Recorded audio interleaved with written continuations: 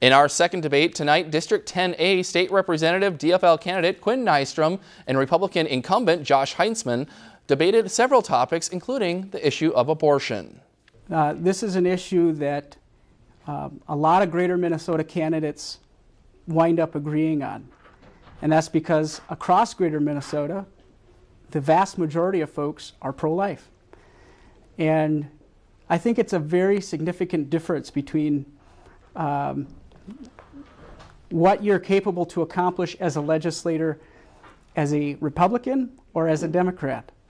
And as a Republican, I know when I go to St. Paul that those same values that I have and that my constituents have on this issue are going to be supported by my leadership and by my party. I've always been pro life. I have not moved my stance on that. I believe in the sanctity of life.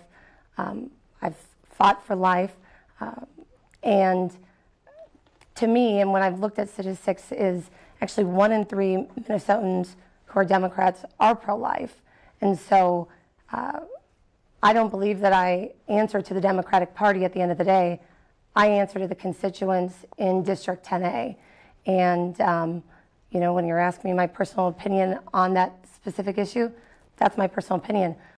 If you've enjoyed this segment of Lakeland News, please consider making a tax-deductible contribution to Lakeland Public Television.